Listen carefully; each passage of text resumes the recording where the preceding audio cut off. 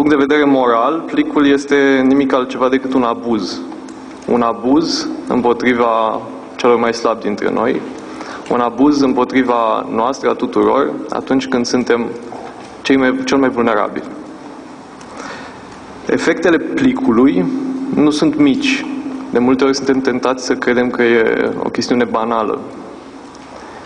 Plicul a structurat sistemul așa cum îl vedem în ziua de astăzi.